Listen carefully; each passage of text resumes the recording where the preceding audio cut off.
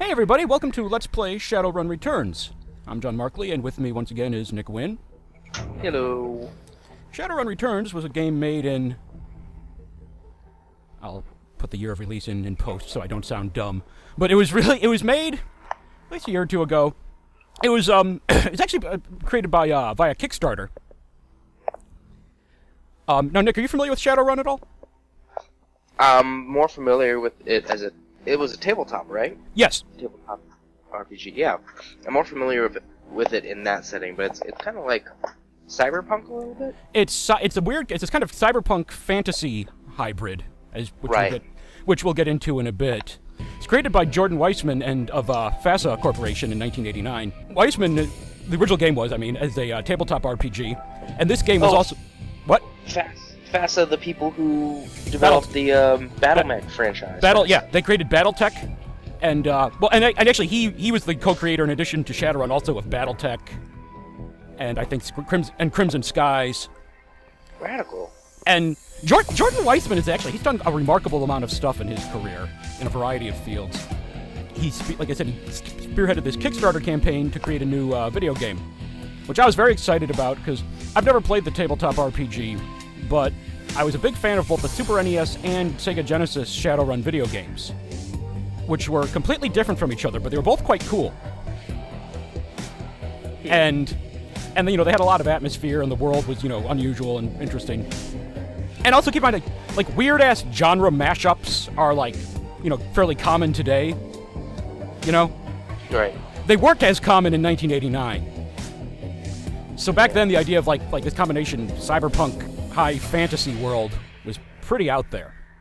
Now, okay, now here's the different uh, campaigns. It, this is the, the one it comes with, the Dead Man's Switch. In the urban sprawl of the Seattle Metroplex, the search for a mysterious killer sets you on a trail that leads from the darkest slums to the city's most powerful megacorps. You'll need to tread carefully, enlist the aid of other runners, and master powerful forces of technology and magic in order to escape from the shadows of Seattle unscathed. All right, now, yeah, Seattle is sort of, I mean, there's other places, but Seattle is sort of like the classic Shadowrun setting. Shadow, S- Seattle of the 2050s. Although the in-game timeline now extends, I think, to like to 2070s or something. But but this is set in like sort of the classic era. This is like 2054, I think. Which is not part of the United States anymore, by the way, because the United States does not exist in 2054. We'll get into that. Oh shit.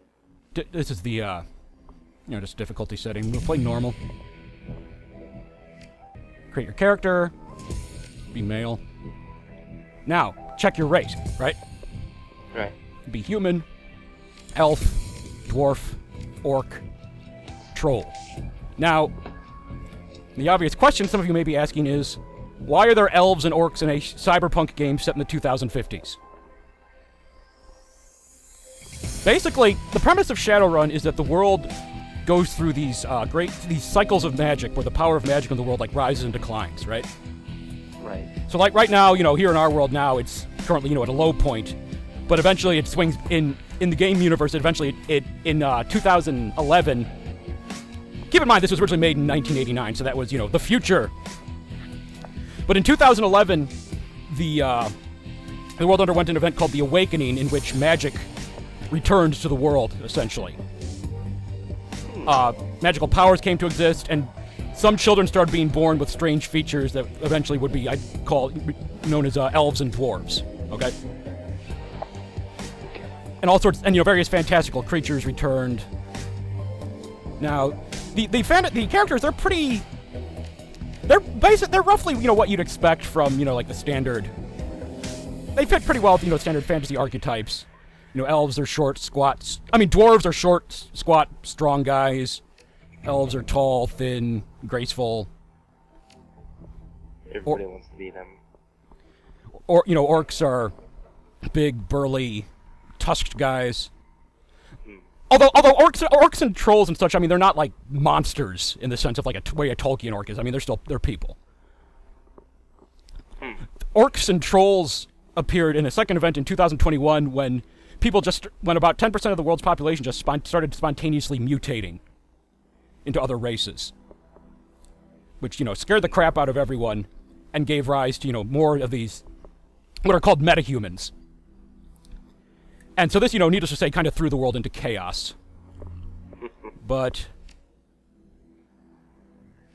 let's see. What should we be? But why not just go with human? For Yeah. Okay, human. All right, now archetype. These are different. They're di- these are different cla character classes, sort of. But once you create a character, you can you can up uh you can customize them any way you want. So you don't you're not locked into what you start with. I see. And there's also, oh, but okay, here are the archetypes. The street samurai. Ah, free, it's freelance operatives who follows a code of street honor. They are learned in the ways of the traditional samurai warrior and in the practices of modern combat. Samurai sell their skills for profit and work to take out the dishonorable scum that seem to breed in the urban sprawl. Attributes. Key attributes: body and strength or quickness. Key skill: close range or range combat. Mage. Mages specialize in the casting of spells. Surprise, surprise. Um, they're, they're, they're, they're very spells. You know, give you various effects. There's offensive. There's healing. You know, stuff like that. Decker. Deckers use a cyber cyber deck to jack into the Matrix, the worldwide information grid and computer network. Um, which is this this game was heavily, you know, like a lot of cyberpunk, cyberpunk, it was heavily influenced by things by uh, stuff like like the wel- works of uh, William Gibson, Neuromancer, stuff like that. So in, the, in this, the Matrix, which is like their version of the internet, it's like this sort of full immersive environment. All right. Nice. Shaman, they draw their uh, also have magic that they believe comes from a like totemic spirit. They have they have uh, different types of powers than mages. They can also summon spirits into battle, which is a pretty cool ability. Rigger, rigger, whoop.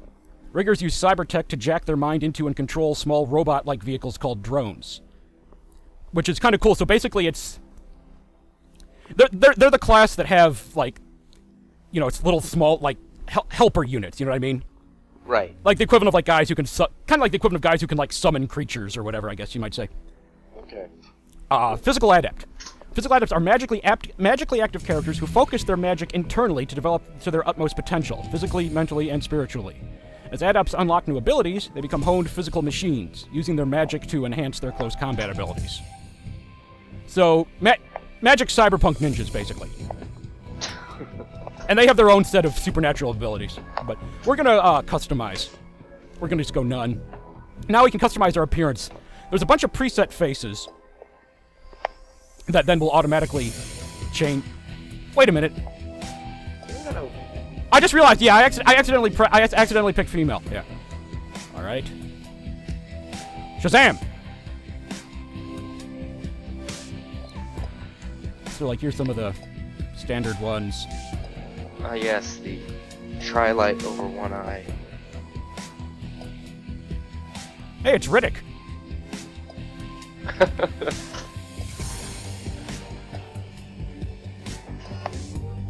Riddick with hair. Ow. Jason Statham. Jason Jason Statham is the T800 in. Oh. Oh. It's one of those guys from Dune. Guy, guy's very smug looking. Oh, that guy's got like Norse runes tattooed onto his face. I assume tattooed. Maybe they were carved. Who knows? That could be your story. It's no, no. Now we, now we know. It's he's got like Macho Man Randy Savage glasses. Well, from where I'm sitting, it looked for a second like Ultimate Warrior paint. Kind of like this guy. yeah, he's got glasses. Ah, Yes. I do appreciate that. Like, I know that this is supposed to be generic art, but mm-hmm. a lot, some of these faces just seem to be copy. You know, the eyes and. no. Some like, some of them are, are definitely supposed to be the same guy, just with different accessories or whatever. Like here's this guy. He's like a shaman or mage guy. Then it's the same guy as like a you know cyber, high tech cyberware guy. I kind of like this one. Yeah. But we have further customization options. As you can see, we can change. Skin, like change skin color.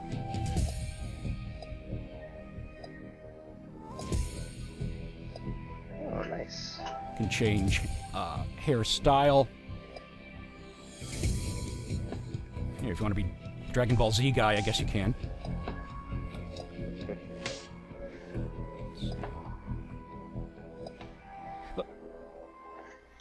You can be the bald, aging hipster.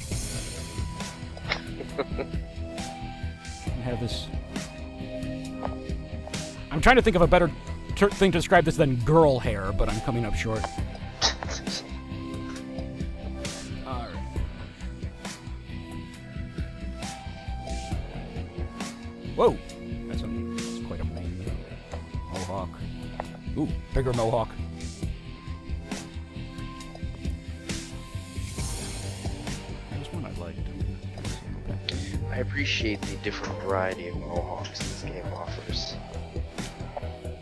Well, you know, that sort of cyberpunk aesthetic.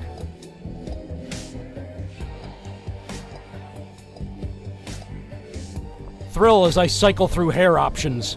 Kind of like this hair. Alright. Oh, and hair color, of course, is an option. Radical. Kind of like the dark hair. And, uh, we have different beard options. I'm gonna, I'm gonna change the color of the beard for a second just so it's easier to see against the black background. how much are you able to like? How much is uh? Are you able to see your character model? Because if I remember right, it's it's sort of like a. It's like isometric. Isometric. You can you can zoom in to a decent amount. I mean, it's Okay. So is it like XCOM in that way? it is a little like XCOM, yeah. Whoa, that's a lot. That's a lot of beard. Have like a Fu Manchu kind of look. Works. That's sort of a standard beard.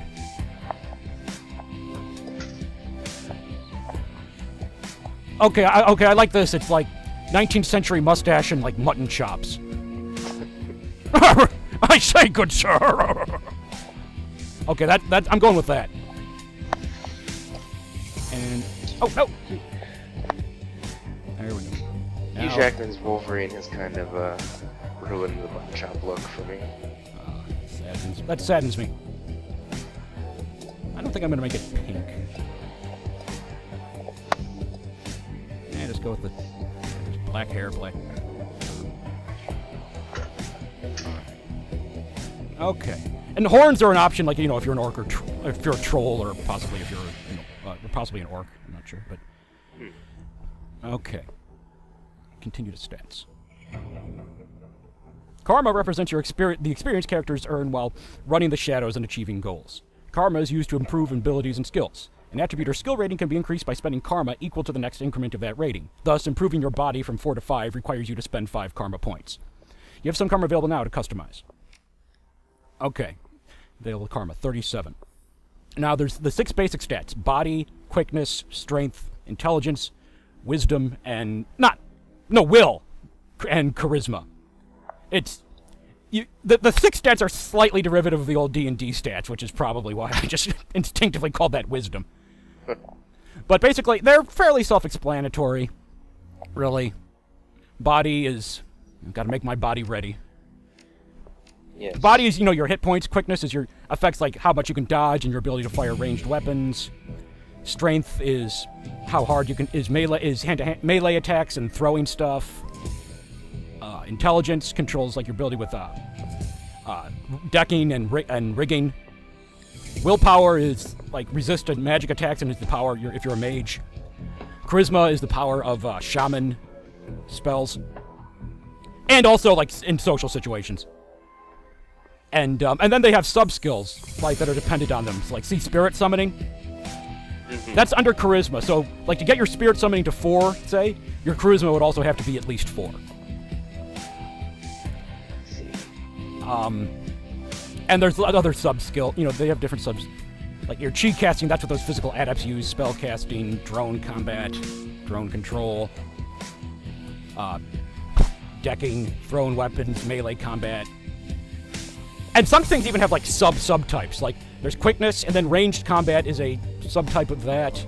Or or is and and then and then these uh wep- and then these weapon skills are a subtype of ranged combat pistol, submachine gun, shotgun, rifle. All right, I'm gonna be. I don't expect you to, you know, you know, thrill as I sit here silently, you know, crun mentally crunching some numbers to myself. So I'll give you a little more of the uh, backstory. Uh, basically, in the year 2010, and like I, which again was the future. Right. Um, in the year 2010, the Earth, the world is struck by this. The year before the awakening, the world is struck is struck by this devastating uh, plague called uh, uh, VITAS, virally induced uh, toxic allergy syndrome. Over, it starts in India, spreads worldwide. With it, after within a few years, it's it's killed two billion people. Which, which which uh, which basically sort of sets the stage for the world being thrown into chaos and being such what that combined with the you know the awakening is why the world is such a dramatically different place like geopolitically. You know whole nations rose and fell. So it killed two billion people in the span of a year. uh, uh, uh, not one year more than one year but there are actually two there were two outbreaks of it. Like there's a second strain of it but within a, only a couple years it killed yeah it killed a, like a, you know a significant population of the entire human race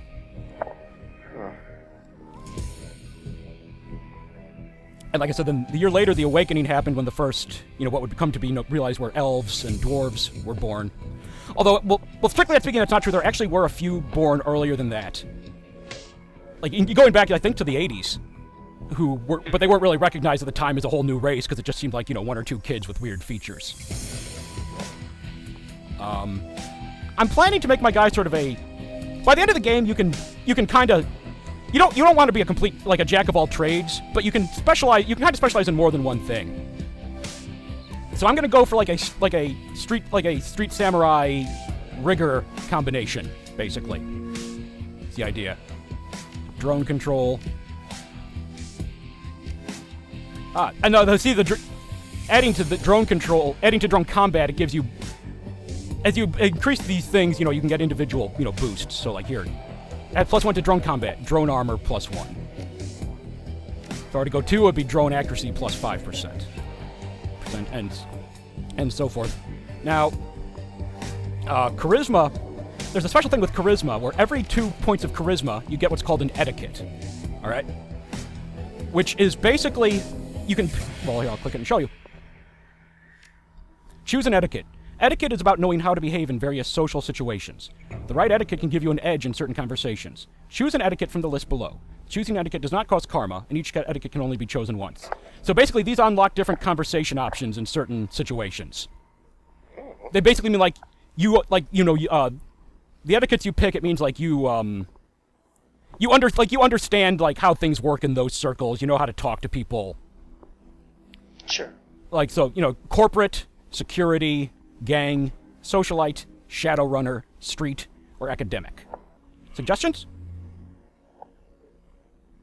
Uh, why not take uh, Shadowrunner? Okay, good idea.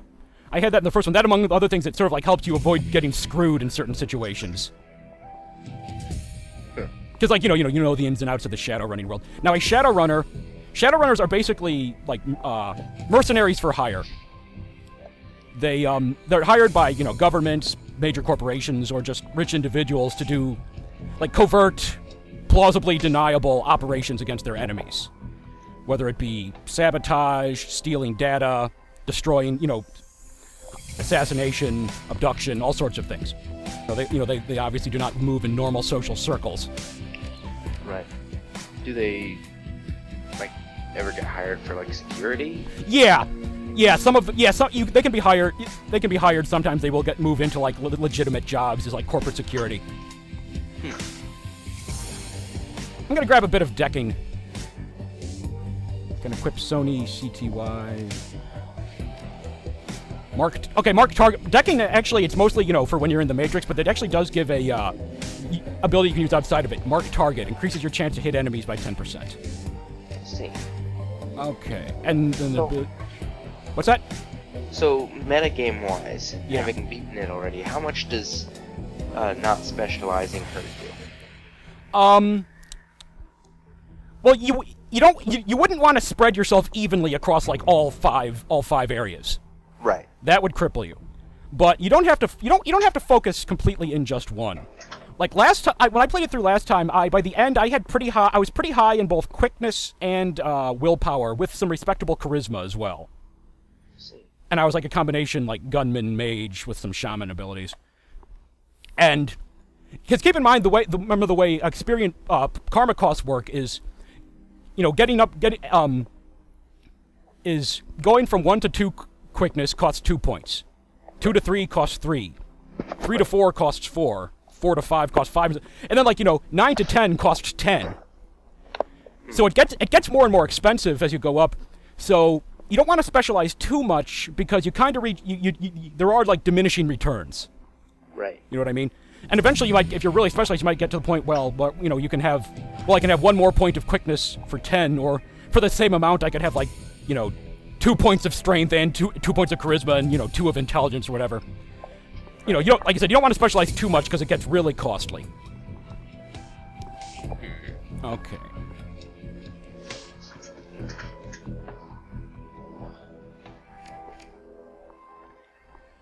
Okay. Yeah, inte intelligence. So is there one stat like every character like should always spec? Um, well, everyone, everyone, everyone benefits from body because Which is be- because that ba- that determines how many hit points you have and increases your chance of of taking reduced damage when you're hit. okay. So it doesn't really direct any particular craft affect any particular class's skills.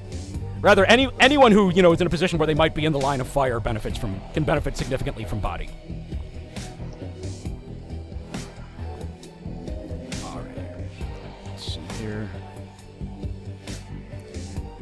Also, intelligence and charisma will both sometimes unlock additional conversation options. Actually, actually, actually, for that matter, so will so will other stats as well, like strength. Like you're better at it. You have a high strength stat, you're better at intimidating people. Will low stats have uh, options? I don't think so. All right.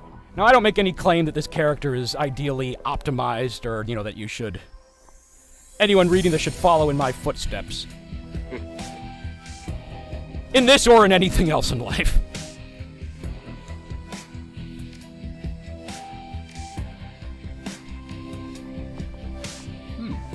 Spirit summoning is cool. They're like basically at certain points, places in the game, there are places where you can summon, you know, well, as the name suggests, summon spirits that you can then control and make attack you. But the, they um, they gradually get uh, harder and harder to control, and will eventually escape your control entirely.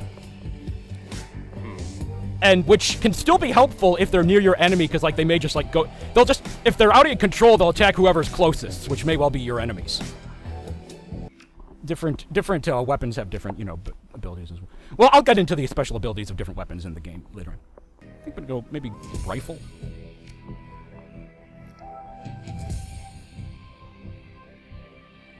Rifle and uh, submachine gun.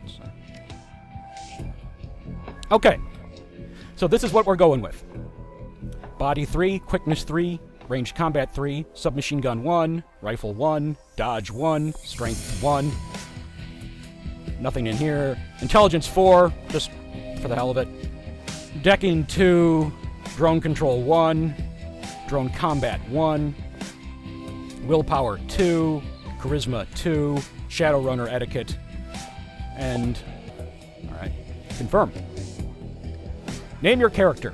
Many runners use a street name, handle, or working name. Names like Half-Jack or Lady Z. Others stick with their given name, or adopt a nickname. Please choose a name for your character. Okay, Nick. This is the name we're going to be hearing from other people address us by for the rest of the game, so we got to choose wisely. You know, in, in homage to my my Steam my Steam username, I'll just be Flandry. Agent Flandry. Should I Agent Flandry or just Flandry? Uh, why not just Flandry? Just Flandry, yeah. All right.